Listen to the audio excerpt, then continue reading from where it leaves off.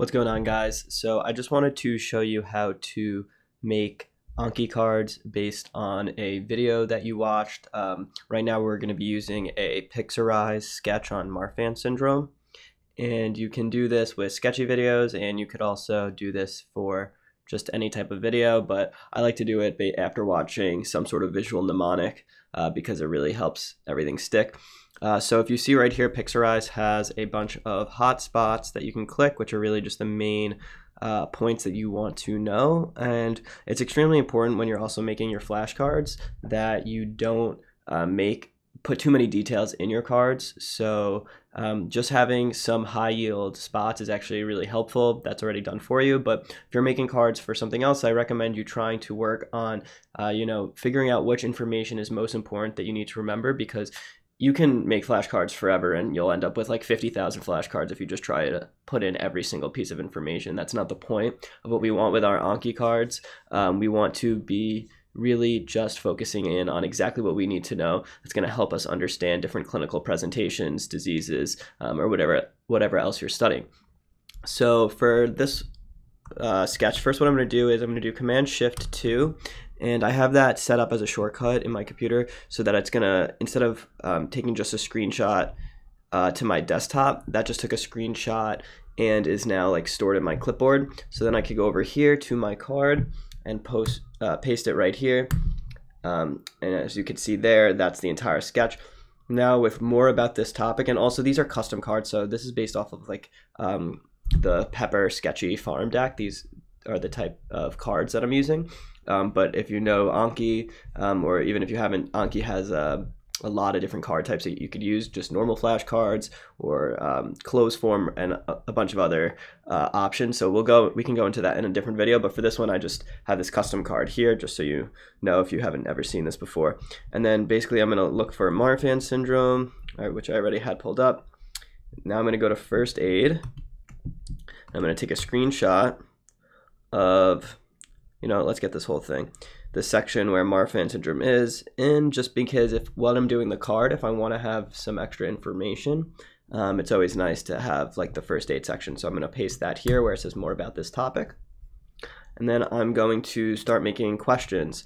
Um, so the first one that we're going to do, let's see, I, I want to talk about like the inheritance pattern. So it's autosomal dominant, which is represented by this big ass truck here. Um, so we're going to screenshot that. Paste. And the, in, the chromosome, uh, we want to get the chromosome, which is chromosome 15, which is represented by uh, the quinceanera dress. So we'll get that. And so you see how I group, I'm grouping these two into one card because they kind of go together, the inheritance pattern as well as what chromosome it's on. So I'm going to put those two pictures here where it says extra. And then I'm going to go um, what is the inheritance pattern of Marfan syndrome and what chromosome is mutated. And then I'll type in the answer, autosomal dominant, and um, what do we say, chromosome 15. Awesome, so that's one card. Now the good thing about this custom thing is I don't have to keep uh, clicking add and then making new cards because I make them all for one sketch right here and then at the end I'm going to press add. So the next thing is, um, let's do the fact that it's Marfanoid habitus. Um, I'm just trying to think of, we'll, we'll make that its own card. Actually, know what? So we're going to group like some of the clinical symptoms together. So we're going to put um, Marfanoid habitus as one thing, the fact that there's mitral valve prolapse as another.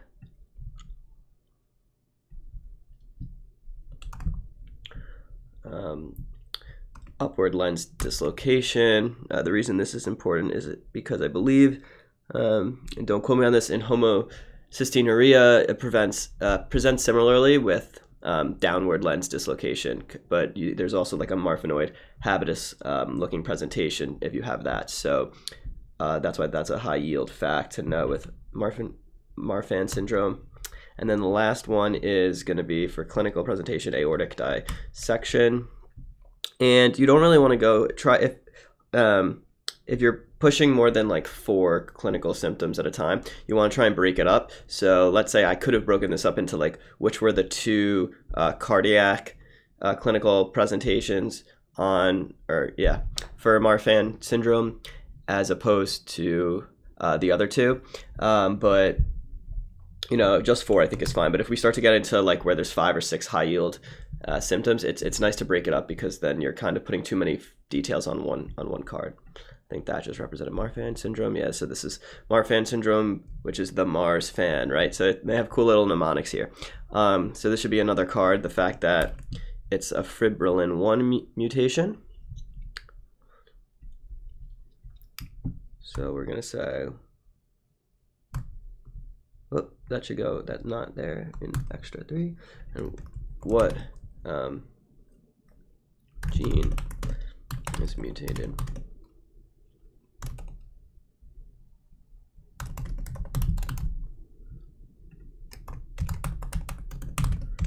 Fibrillin 1. Awesome. And did we leave anything out? Chromosome 15, upper, yep. Yep, I think that's it. So then what we would do is come down here. I'm making sure to have this tagging correct. Um, I'll probably release this deck eventually when I finish it all. So if you're uh, using Pixorize by then, you'll be able to just use these cards. Uh, but it's always good to learn how to make your own. And that would be it. So then we'd click Add and that's it. Now it's in my deck.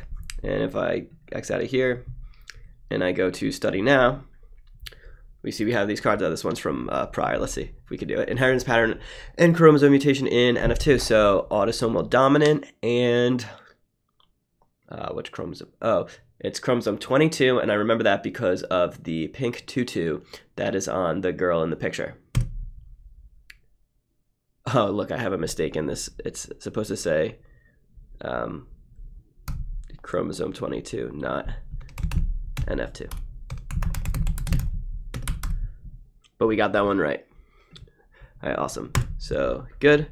And non-tumor associated uh, sorry, this one's also for NF2. We'll get to the Marfan cards in just a sec.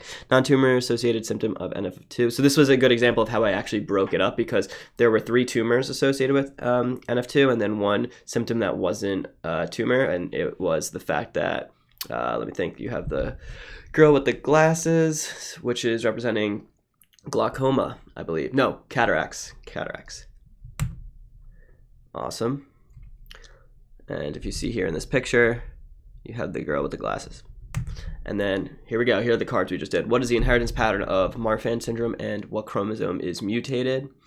And the answer to that, as we all should know by now, is that it is autosomal dominant and it is chromosome 15, which is denoted by the quinceanera address. Yeah, so we'll call it there, and I hope that helped you, kind of see how I make my cards and how you can do it as well. And also, was a nice little plug for Pixorize, which have really good uh, short videos that talk about a lot of the genetic and biochem uh, dis diseases. So definitely check the, them out if you get a chance, and hope that this was helpful, guys. Talk to you soon.